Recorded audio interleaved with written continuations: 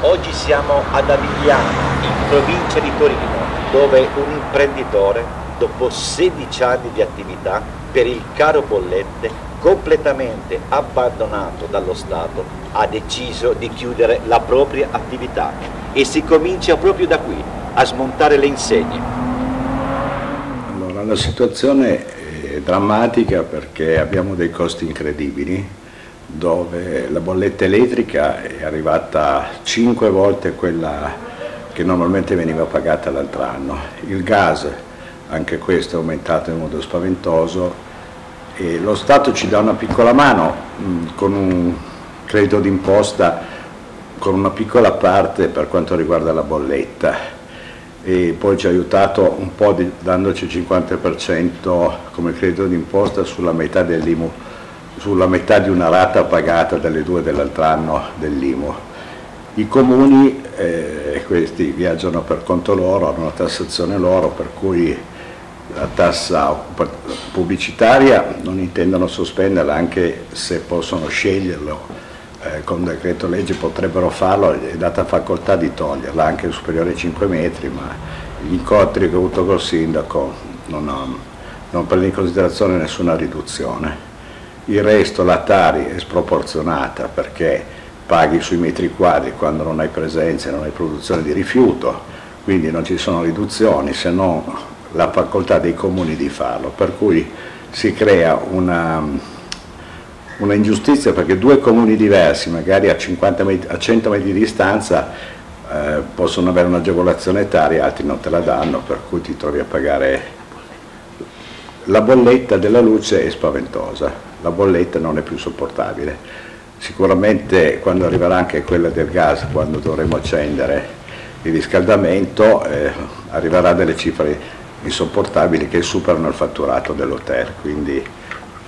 l'unica possibilità è aspettare il 9 di novembre quando accenderemo, vedere cosa arriva, dopodiché 90, 99 su 100 ci sarà la chiusura. Questo è tutto.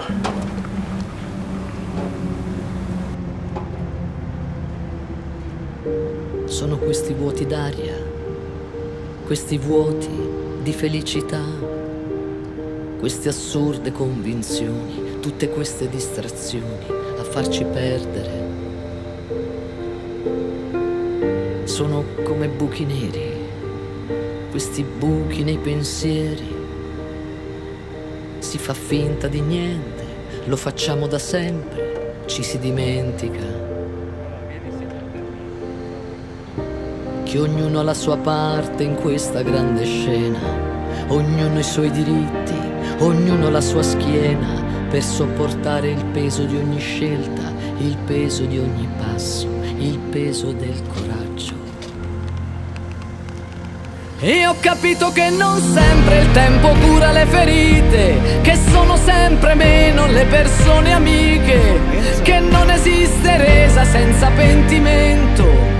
quello che mi aspetto è solo quello che pretendo e ho imparato ad accettare che gli affetti tradiscono, che gli amori anche i più grandi poi finiscono, che non c'è niente di sbagliato in un perdono, che se non sbaglio non capisco io chi sono.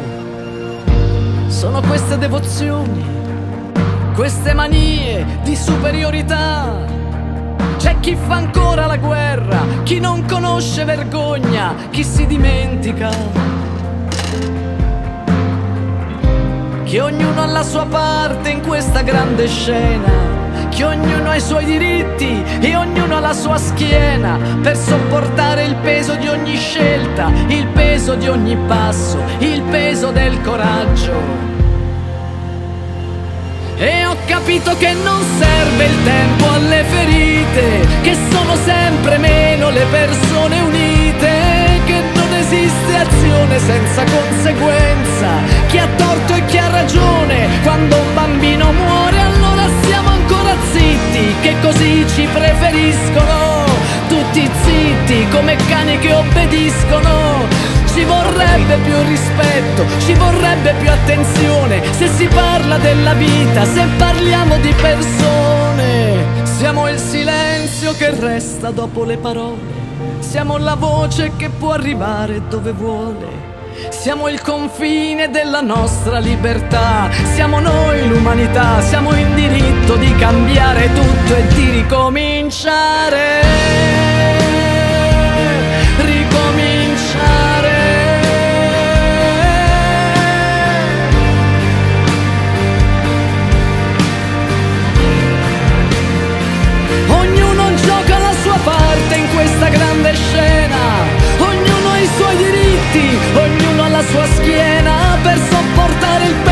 Ogni scelta, il peso di ogni passo, il peso del coraggio, il peso del coraggio. Enzo, dopo 15 anni oggi si tolgono le insegne, come ci si sente? Dolore